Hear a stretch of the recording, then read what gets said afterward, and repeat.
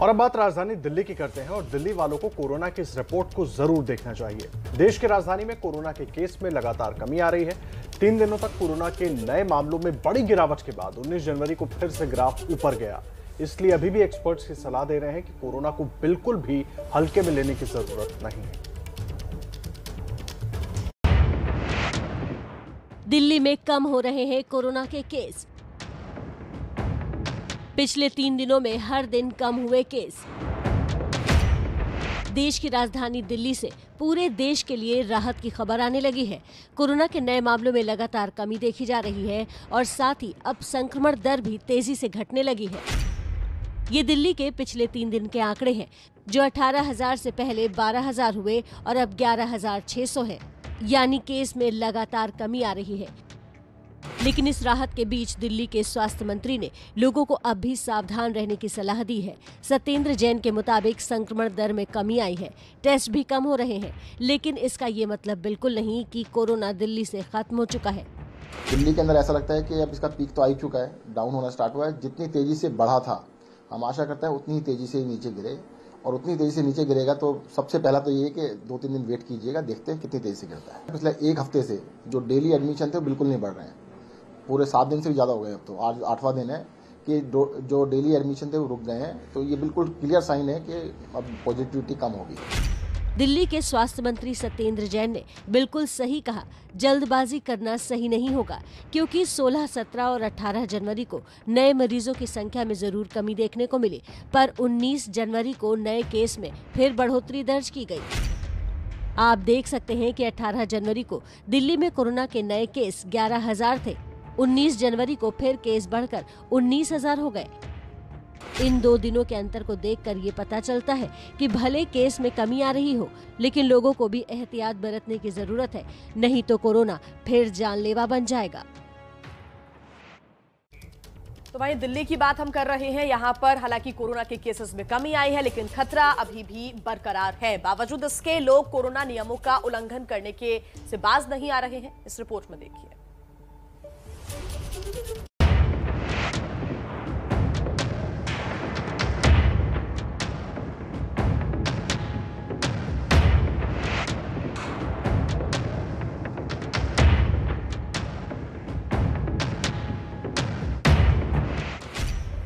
Corona का खतरा अभी कम नहीं हुआ है तो दिल्ली में लोगों की लापरवाही भी कम नहीं हुई है। दिल्ली के बाजारों में नियमों की धज्जियाँ उड़ाने का काम जारी है। तस्वीरें दिल्ली के उखला मंडी की है। देखिए, कैसे कोरोना के कहर के बावजूद लोग लापरवाह दिख रहे हैं। इन्हें न तो कोरोना का डर है, न ही कोविड नियमों की फ़िक्र। मंडी में ज़्यादातर लोग बिना मास्क ही घूमते नज़र आए। कुछ चुनिंदा लोगों के चेहरों पर ही मास्क नज़र आया। लोगों की लापरवाही इस वक्त ओखला मंडी में देखी जा सकती है। आपको कई सारे लोग तस्वीरों में दिखाई देंगे, जो लगातार अपील करने के बावजूद भी मास्क नहीं पहने हुए हैं। मंडी में जिस तरीके से भीड़ है, उसको देखते हुए संक्रमण का खतरा और भी ज़्यादा बढ़ जाता है। ऐसे में बेहद ज़रूरी हो जाता है कि लोग मास्क पहने, क्योंकि कई जगहों पर दो गज की दूरी बनना यहाँ पर संभव नहीं है। हमारी संवाददाता ने जब मास्क नहीं पहने लोगों से बात की तो सुनिए लोगों का जवाब। गिर गया मेरा मास्क अभी पता ना कहाँ पे। कोरोना वायरस इतना ज़्यादा खतरनाक महामारी फैली हुई है वो अभी भी जारी है तो उसका उसका एक डर होगा। अभी जाके लूँगा मास्क कुछ ऐसा ही हाल गाजीपुर मंडी में भी देखने को मिला जहाँ लोग अब भी सतर्क नहीं हैं। लोग बिना मास्क के नज़र आए दो गज की दूरी भी कहीं देखने को नहीं मिली। कई लोग ऐसे भी दिखे जो मास्क लगाना ही भूल जाते हैं। बेहद ज़रूरी है कि कोविड से संबंधित सभी ज़रूरी सावधानियों का हम लोग ध्यान रखें। इस वक्त क्या लोग सावधानियों का ध्यान रख रहे हैं या फिर लापरवाही बरत रहे हैं, ये जानने के लिए इस वक्त एबीपी न्यूज़ की टीम राजधानी दिल्ली के पूर्वी, दिल्ली स्थित गाजीपुर मंडी पहुँच गई और तस्वीरें हम आपको दिखा रहे हैं। गाजीपुर मंडी के अंदर से ज़्यादातर लोग हमें यहाँ पर मास्क पहने हुए नहीं दिखाई दे रहे हैं। ऐसे ज़्यादातर लोग हैं जो कैमरे की नज़र पड़ने पर मास्क पहने हैं। ताज़ा आंकड़ों के मुताबिक, दिल्ली में पिछले 24 घंटों में कोरोना के तेरह नए मामले सामने आए हैं। सोलह हज़ार पाँच सौ अस्सी मरीज़ ठीक हुए। वहीं कोरोना से 35 लोगों की मौत हो चुकी है। दिल्ली में कोरोना के मामले पिछले दिनों के मुकाबले कुछ कम तो हो रहे हैं। एक्सपर्ट दावा भी कर रहे हैं कि दिल्ली में इस महीने के अंत तक कोरोना खत्म हो जाएगा, लेकिन ऐसी लापरवाही से आंकड़ों में दोबारा उछाल आ सकता है, जबकि संक्रमण दर अब भी चिंता का सबब बनी हुई है। और अब बात पंजाब की करते हैं। देखिए, पंजाब में सीएम चरणजीत सिंह चन्नी के रिश्तेदार और उनके सहयोगियों पर चल रही ईडी की छापेमारी जारी है। इस रेड में अब जो पैसे बरामद हुए हैं, वो भी एक अलग ही कहानी बता रहे हैं। लेकिन इसके साथ ही रेड पर पंजाब की राजनीति का पारा भी चढ़ गया है क्या ये रेड पंजाब की चुनावी हवा को बदल सकती है ये समझिए हमारे सहयोगी जगविंदर पटियाल की इस एक्सक्लूसिव रिपोर्ट से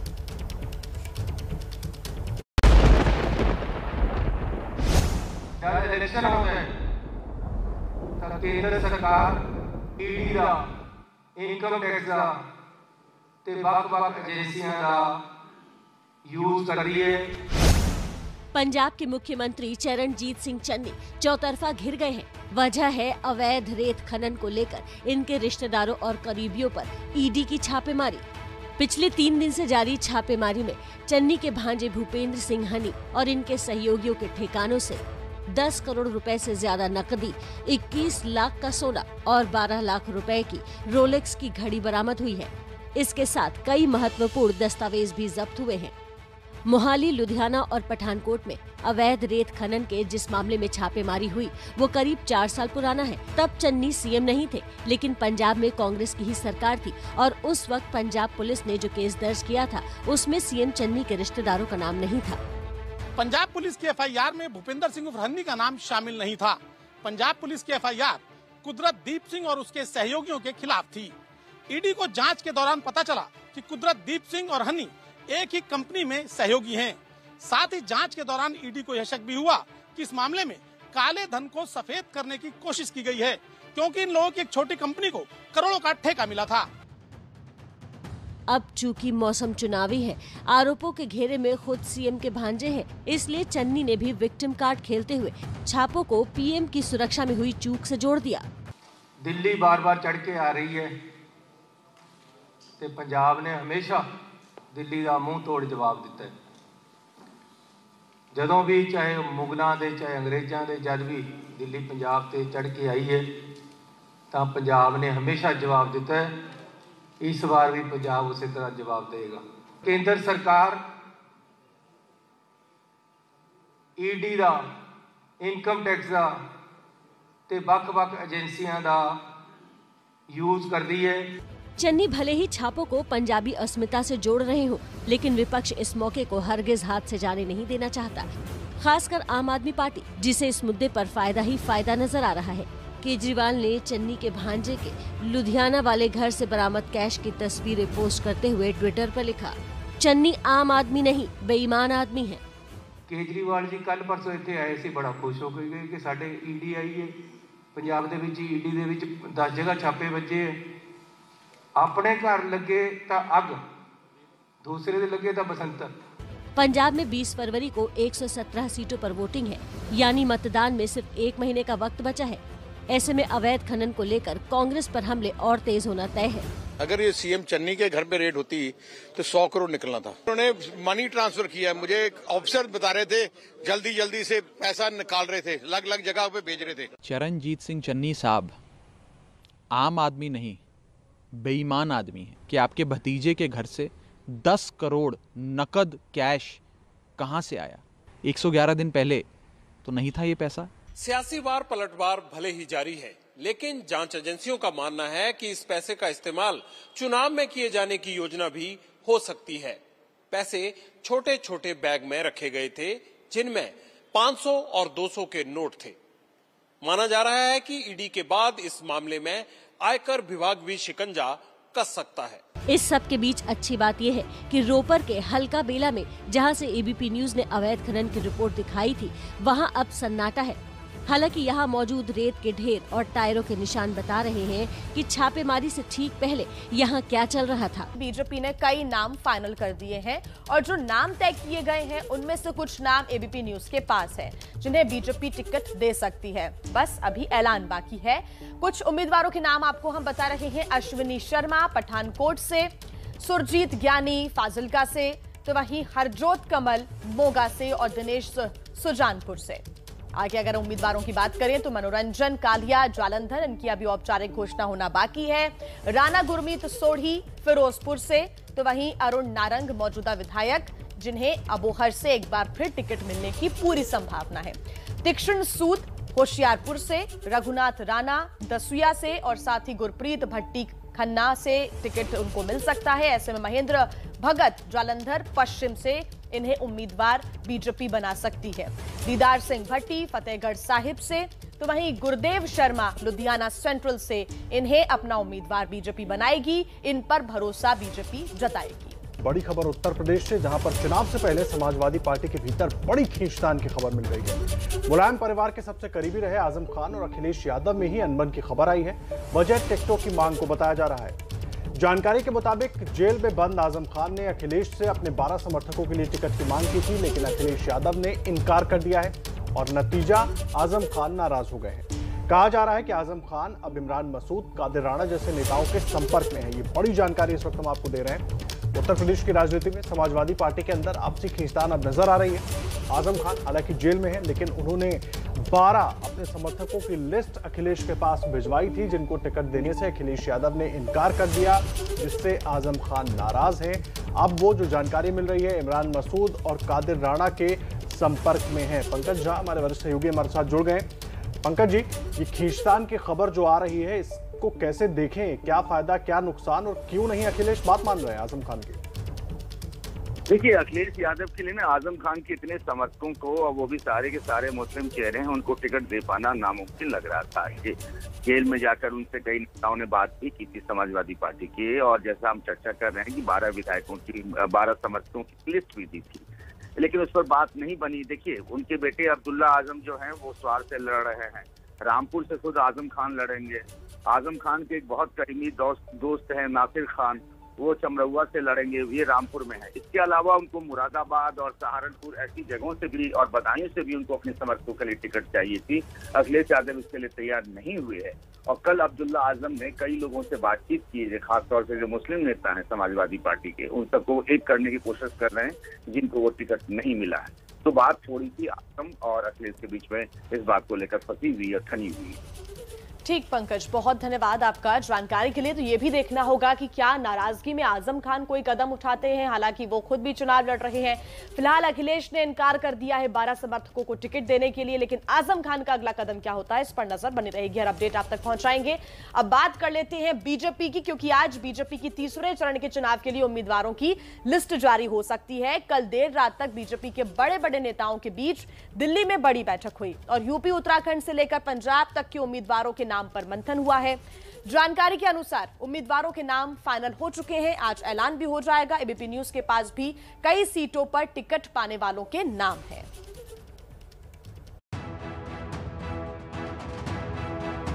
उत्तर प्रदेश, उत्तराखंड, पंजाब और गोवा के लिए उम्मीदवारों की अगली लिस्ट जारी करने के लिए बीजेपी ने देर रात तक बड़ी बैठक की।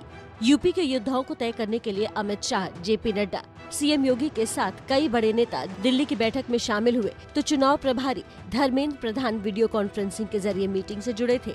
सूत्रों के मुताबिक पुख्ता खबर है कि पार्टी ने यूपी की तीसरी लिस्ट के लिए उम्मीदवारों के नाम फाइनल कर लिए हैं और आज उसका ऐलान हो सकता है। उससे पहले एबीपी न्यूज़ पर कुछ सीटों पर उम्मीदवारों के नाम पर नज़र डालिए। Kanpur, Aryanagar, Suresh Awasthi, Akbarpur, Pratibha Shukla, Kanpur, cantt, Raghunandan Bhadauria, Kidwai Nagar, Mahesh Trivedi, Mainpuri, Jaiveer Singh, Etawah, Sarita Bhadauria, Farrukhabad, Sunil Dutt Dwivedi, Kannauj, Arun Aseem, Jhansi Sadar, Ravi Sharma, Etah, Vipin Verma, Hathras, Manjula Mahour Kasganj Devendra Singh Lodhi. ABP news के पास करीब 40 सीटों के उम्मीदवारों के नाम हैं, जिनका ऐलान आज हो सकता है। दिल्ली में बड़ी बैठक के बाद बीती रात ही सीएम योगी आदित्यनाथ दोनों डिप्टी सीएम और प्रदेश अध्यक्ष स्वतंत्र देव सिंह लखनऊ लौट गए। टिकट पर मंथन के बीच पार्टी के भीतर लखनऊ की कैंट विधानसभा सीट के लिए मारामारी मची है। रीता बहुगुणा जोशी तो इस सीट से अपने बेटे मयंक जोशी को टिकट दिलाना चाहती हैं। और सूत्रों के मुताबिक वो इसके बदले पार्टी के सामने अपनी सांसदी छोड़ने तक का प्रस्ताव भी रख चुकी हैं। लेकिन जानकारी के मुताबिक इस सीट पर एक नहीं, कई दावेदार हैं।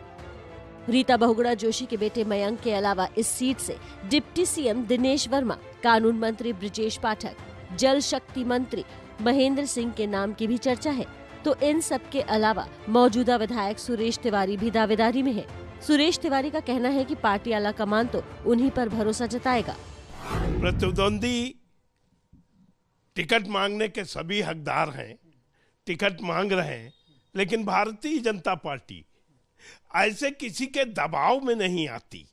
भारतीय जनता पार्टी अपने कार्यकर्ताओं को ध्यान में रखकर निर्णय करती है और हमारा केंद्रीय नेतृत्व मेरे अनुमान के हिसाब से मुझे ही उम्मीदवार बनाएगा। मैं ही कैंट विधानसभा से चुनाव लड़ूँगा।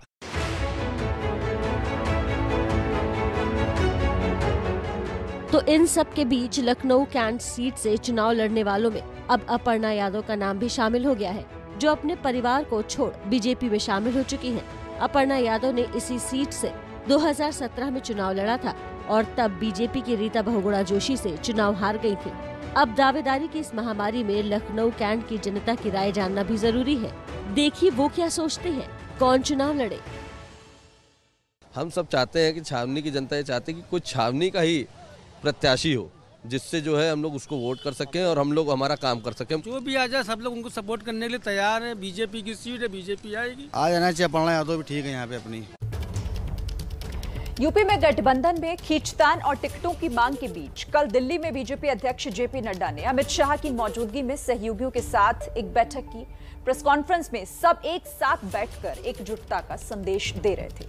लेकिन इतने मंथन के बावजूद सीटों के बंटवारे का फॉर्मूला नहीं निकल पाया। यूपी चुनाव में बीजेपी गठबंधन के सहयोगियों को साध कर रखने की पूरी कवायद कर रही है। इसी के तहत दिल्ली में पार्टी मुख्यालय में बड़ी बैठक हुई, जिसमें बीजेपी अध्यक्ष जेपी नड्डा, अपना दल एस की नेता अनुप्रिया पटेल और निषाद पार्टी के डॉक्टर संजय निषाद मौजूद थे।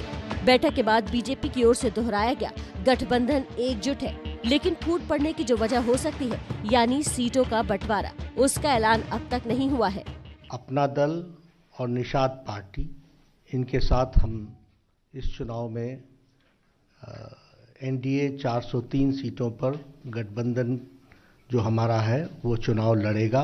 पिछले दो तीन दिनों में निषाद पार्टी के साथ और अपना दल के साथ बहुत डिटेल में चर्चा हुई है और सीट्स के बारे में भी चर्चा हुई।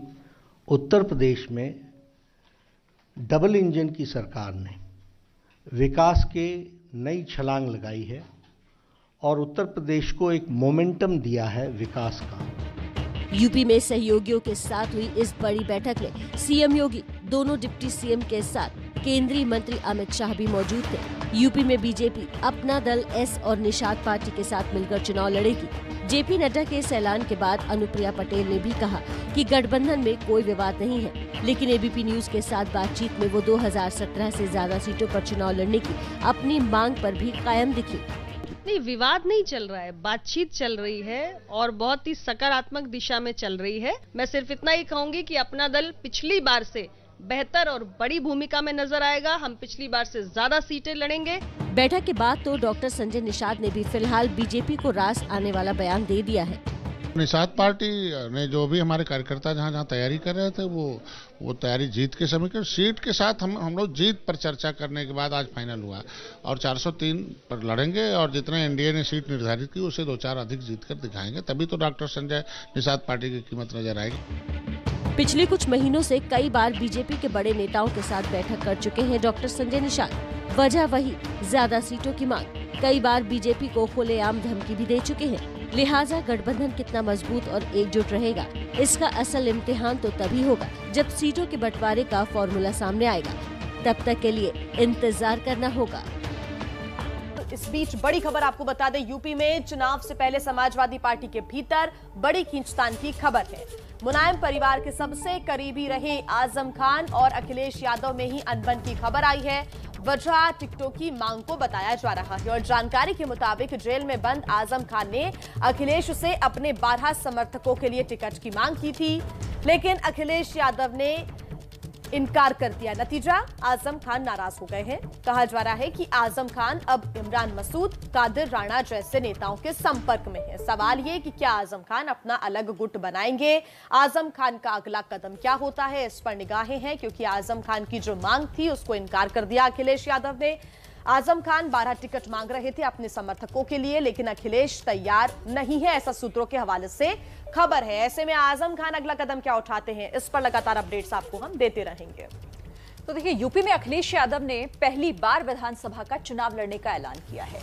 पर वो आखिरकार कहाँ से चुनाव लड़ेंगे? इस पर अभी भी सस्पेंस बना हुआ है। सीट पर सस्पेंस का ये सियासी खेल क्या है? एक रिपोर्ट के ज़रिए आपको समझाते हैं।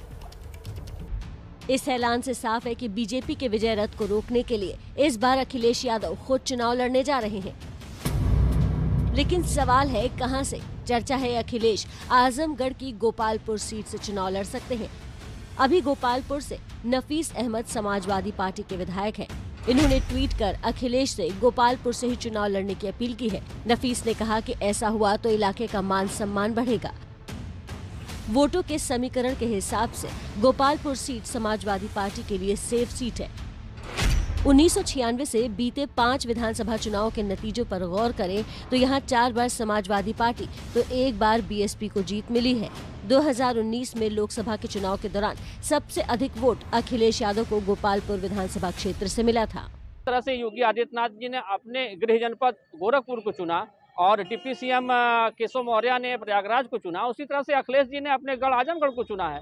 अगर यहाँ से लड़ेंगे तो जीत जाएँगे क्योंकि अहिर और यादव बाहुल क्षेत्र है। कहीं और से लड़ेंगे तो इनके लिए दिक्कत होगा। तो ये उनका गढ़ है और पूरे प्रदेश की कमान उनको संभालनी है।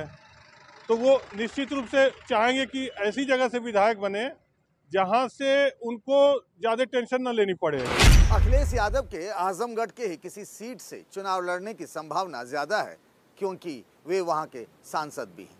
अखिलेश यादव अपने गढ़ इटावा या मैनपुरी से चुनाव लड़ने के पक्ष में नहीं है क्योंकि वे अगर पूर्वांचल छोड़कर गए तो विरोधी उनके खिलाफ माहौल बना सकते हैं।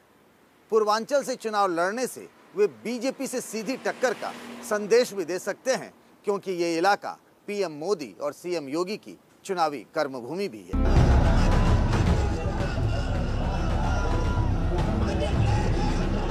अखिलेश यादव के भले ही आजमगढ़ से चुनाव लड़ने की चर्चा हो लेकिन इसमें भी एक ट्विस्ट है। अखिलेश ने पत्रकारों के सवालों के जवाब में कहा था कि वो बाबा से पहले चुनाव लड़ सकते हैं। चुनाव पहले होना चाहिए। योगी जी से पहले लड़ लें चुनाव। अखिलेश यादव के इस बयान पर यकीन करें तो इनके संभल की गुन्नौर सीट से भी चुनाव लड़ने की प्रबल संभावना है क्योंकि यहाँ अगले महीने 14 फरवरी को ही मतदान है। जबकि सीएम योगी जिस गोरखपुर सदर सीट से मैदान में उतर रहे हैं, यहाँ तीन मार्च को वोटिंग होनी है।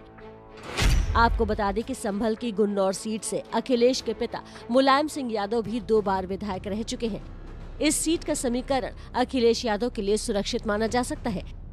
हालाँकि 2017 में यहाँ से बीजेपी जीत गई थी। समाजवादी पार्टी ने गुन्नौर से राम खिलाड़ी यादव को अपना उम्मीदवार बना दिया है।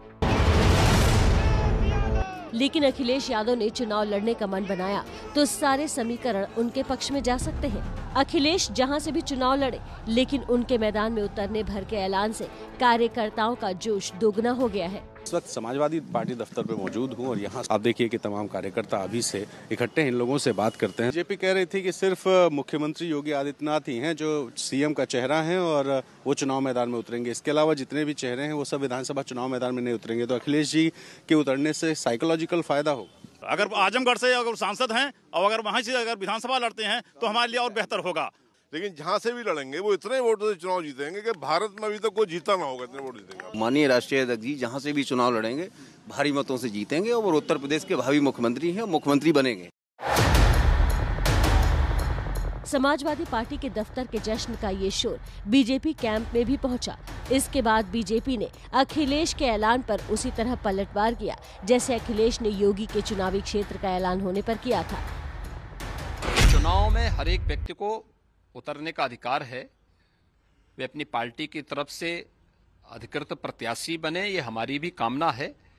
उनको बनना चाहिए। लेकिन एक बात तो सामने आ गई है कि समाजवादी पार्टी आज बैकफुट पर आ चुकी है अपनी पहली सूची के बाद। अब उनकी हिम्मत नहीं हो पा रही कि अगली सूची वो जारी कर सकें। वो कहते थे कि हमने विकास किया है। और अगर आपने विकास किया है तो सीट को चुनने में इतना देरी क्यों लगा रहे हो? 2022 के विधानसभा चुनाव में सुरक्षित ठिकाना तलाशने में अधिसूचना जारी होने के बाद इतना समय लगा दिया। बीजेपी अब भी आरोप लगा रही है कि सीएम योगी और केशव प्रसाद मौर्य के चुनाव क्षेत्र का ऐलान होने के बाद अखिलेश पर भी चुनावी रण में उतरने का दबाव बढ़ गया था। जिस तरह से भारतीय जनता पार्टी ने आदरणीय योगी जी को आदरणीय केशव मौर्य को जो लड़ाने की बात की है उसको लेकर कहीं ना कहीं एक प्रश्न तो वहाँ इनके और सदस्य उठा ही रहे होंगे कि आखिर आप क्यों नहीं लड़ेंगे चुनाव?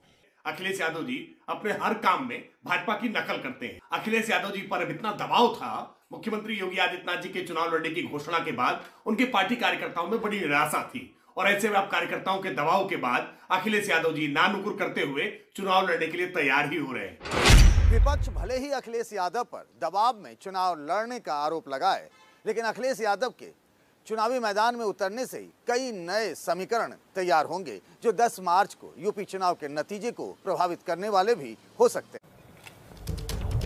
देखिए यूपी में समाजवादी पार्टी की फ्री पॉलिटिक्स कैसे जनता को लुभा रही है जो दाव समाजवादी पार्टी ने चला है जनता उसको कितना पसंद कर रही है आपको दिखाते हैं इस रिपोर्ट में। यूपी में अब की बार बिजली मीटर में आने वाली ये रीडिंग भी चुनावी मुद्दा बनने वाली है। केजरीवाल के जवाब में यूपी में अखिलेश यादव ने जो 300 यूनिट तक बिजली फ्री वाला दांव चला है, उसके लिए 19 तारीख से रजिस्ट्रेशन शुरू हो चुका है। कोरोना की वजह से डोर टू डोर कैंपेन तो नहीं हो रहा, लिहाजा ऑनलाइन रजिस्ट्रेशन शुरू हो गया है। अखिलेश के ऐलान का कितना असर है, ये जानने के लिए गाजियाबाद के एक घर में हमारी टीम पहुँची, जहाँ ये परिवार फ़ोन के ज़रिए ऑनलाइन रजिस्ट्रेशन करता दिखा। एक आम घर की तरह, यहाँ भी फ्रिज वॉशिंग मशीन टीवी है। घर का बिजली बिल 250 यूनिट तक आता है। परिवार को लगता है कि 300 यूनिट बिजली फ्री होने से उनकी बड़ी बचत हो जाएगी। क्योंकि हमारा बिल इतना ज़्यादा आता है कि हम बहुत परेशान रहते हैं। अगर 300 यूनिट हमें फ्री मिलती है तो उससे तो हमें इतनी खुशी होगी कि हम अपने बच्चों की एजुकेशन और और बहुत से काम अपने घर के कर सकते हैं। तो अब हमारा ये समझ लीजिए, अब दो सौ दो सौ पैंसठ यूनिट आ रखा है कम से कम दो ढाई हज़ार के करीब हमारा बिल आता है तो वो सब हमें बचत में ही जाएँगे। गाजियाबाद की तरह ही चंदौली की तस्वीर देखिए। ये समाजवादी पार्टी के पूर्व सांसद हैं। पार्टी मुख्यालय से आए फॉर्म को लेकर गांव-गांव जा रही हैं। 300 यूनिट फ्री बिजली वाला फॉर्म भरवाया जा रहा है और लोगों को उसका फ़ायदा बताया जा रहा है। ये राष्ट्रीय अध्यक्ष जी ने एक निर्णय लिया कि सपा की सरकार 22 में बनने पर हम 300 यूनिट बिजली प्रत्येक नागरिक को फ्री दें। से हमारी टीमें बहुत निकली हैं। दर्जनों की संख्या में सुबह कार्यकर्ता पार्टी दफ्तर पर आए ये फार्म निकाला गया और इस फार्म को लेकर सबको दिया गया कि अपने गाँव गाँव जाइए। चंदौली में रेवा गाँव के घनश्याम को भी अखिलेश यादव के 300 यूनिट तक फ्री बिजली देने का ऐलान खूब रासा रहा है। जो बिजली की बात चल रही है तो बिजली भी जो मिलने के लिए कह रहे हैं हम लोगों को पूरे जनता में पूरे ग्राम में मतलब उत्साह है कि अगर सरकार बनती है तो हम लोग को तीन सौ यूनिट बिजली फ्री मिलेगी फ्री बिजली वाला अखिलेश का ऐलान, लोगों का ध्यान तो अपने बीच खींच रहा है, लेकिन सवाल है कि क्या फ्री वाले दाव से अखिलेश चुनाव में अपने लिए वोट भी बटोर पाएँगे और 2022 के रण में कितना कमाल कर पाएँगे? आगे बढ़ते हैं। भविष्य किसी ने नहीं देखा है। भविष्य में कुछ भी हो सकता है ये बयान देकर बिहार में मुकेश सहनी ने आरजेडी से हाथ मिलाने के संकेत दिए और नीतीश की सरकार के लिए खतरे की घंटी बजा दी है। सरकार में रहते हुए मुकेश सहनी विरोधी लालू और तेजस्वी की कर रही हैं तारीफ़ और कर रहे हैं बीजेपी पर करारा वार। सरकार की नैया तो डगमगा ही रही है। हम लालू जी को मानने वाले लोग हैं। उनके विचार पे चलने वाले लोग हैं। यही बात तो उन पर भी लगता है। अगर कोई ऐसा बोलते हैं तो ये बात उन पर भी लागू होता है। उन्हीं को बोलिए पहले निकल ले क्या बिहार में नीतीश सरकार पर संकट मंडरा रहा है? क्योंकि सत्ताधारी गठबंधन में कुछ भी ठीक नहीं चल रहा है। चार प्रमुख पार्टियाँ चार अलग दिशाओं में चलती दिख रही हैं और चारों एक दूसरे पर हमला करने से गुरेज नहीं कर रहे। मांझी शराबबंदी के सहारे जेडीयू को घेरते हैं। जेडीयू के नेता बीजेपी के खिलाफ बोलते हैं। बीजेपी भी जेडीयू को जवाब दे देती है तो अब मुकेश सहनी आँखें दिखाने लगे हैं। नीतीश की सरकार में मुकेश सहनी को अपनी सियासी औकात बखूबी पता है। ये पता है कि उनके समर्थन की बैसाखी पर ही नीतीश की सरकार टिकी है और उनके चार विधायकों की अहमियत बीजेपी के चौहत्तर के आंकड़ों से कम नहीं। लिहाजा जब भी वो नाराज़ होते हैं तो करारावार करते हैं। जब बिहार में 2020 में सरकार बना, चार पार्टी के सहयोग से सरकार बना, कोई एक पार्टी भी अगर सहयोग पत्र नहीं देता तो बिहार में सरकार नहीं बनता। चाहे वो चौहत्तर वाला हो या चार वाला, सबका लेटर का एक ही वैल्यू था कि सरकार बना। चार पार्टी के समर्थन से सरकार बना। तो निश्चित तौर पे ये सरकार हमारी है, और ये सरकार माननीय मुख्यमंत्री श्री नीतीश कुमार जी के नेतृत्व में हमारी जब सरकार चल रही है, हम मजबूती से यहाँ पे काम करें तो आपको किस वजह से तकलीफ़ है? आपको इस सरकार के साथ अगर तकलीफ़ है तो आप चले जाइए बाहर। हम क्यों चले जाए? सहनी की बीजेपी से नाराज़गी की वजह यूपी चुनाव है, जहाँ सहनी अपनी चुनावी किस्मत आजमा रहे हैं, जिसके लिए वो बीजेपी नेताओं के निशाने पर है। सब जानते हैं कि जीतन राम मांझी या मुकेश सहनी के बिना नीतीश की सरकार नहीं चल सकती, और सरकार बनने के समय से ही आरजेडी की नज़र इन दोनों पार्टियों पर है। एक बार फिर सहनी की नाराज़गी भरे बयान के बाद आरजेडी आग को हवा देने पहुँच गई। मृत्युंजय तिवारी ने कल देर शाम मुकेश सहनी के घर पर काफ़ी लंबी बातचीत की बाहर निकले तो सत्ताधारी गठबंधन की धड़कन बढ़ाने वाला बयान दे दिया। सरकार की नैया तो डगमगा ही रही है। तो सरकार की नैया पर तो आप चढ़ने आए ना? हम काय के लिए चढ़ने आएँगे सरकार नाव डूबेगी तो हम क्या करेंगे देखेंगे। तो मुकेश जी के पास तो पतवार है ही है सरकार का। भाई हमको भाई आरजेडी तो हमारा नेतृत्व में ये बात जो हमारे आला कमान है आदरणीय लालू प्रसाद जी तेजस्वी यादव जी न तय करेंगे। मुकेश सहनी भी आरजेडी के प्रति अपना प्रेम ज़ाहिर करने से नहीं चूक रहे। तेजस्वी जी से हमारा 2019 से ही अच्छा संबंध 18 से ही अच्छा संबंध है और हम लोग ने 2019 का साथ में लोकसभा चुनाव भी लड़े यूपीए गठबंधन में। तो अच्छा संबंध रहा हमेशा वो बड़ा भाई मानते रहा मैं भी उसको छोटा भाई मानते रहा कई इस मंच पे इस तरीके से संबोधन किया गया। सहनी के बदले तेवर पर बीजेपी के मंत्री भी बेफिक्र होकर पलटवार कर रहे हैं। यही बात तो उन पर भी लगता है। अगर कोई ऐसा बोलते हैं तो ये बात उन पर भी लागू होता है। उन्हीं को बोलिए पहले निकल ले। बीजेपी कोटे से मंत्री बने नीरज कुमार बबलू ने दूसरे सहयोगी जीतन राम मांझी पर भी तंज किया। देखिए मांझी जी क्या मांग कर रहे हैं? उनका अपना मन मिजाज रहता है। वो रहते रहते हैं गड़बड़ा जाते हैं। उम्र का असर उसर उन पर है पहले से भी बोल रहे हैं। एक तरफ़ मुकेश सहनी का आरजेडी से हाथ मिलाने के संकेत है और दूसरी तरफ़ बीजेपी का ये अड़ियल रवैया कहीं सच में सुशासन बाबू की सरकार के लिए संकट न खड़ा कर दे। तो नमस्ते भारत के आज के सफ़र में फ़िलहाल इतना ही।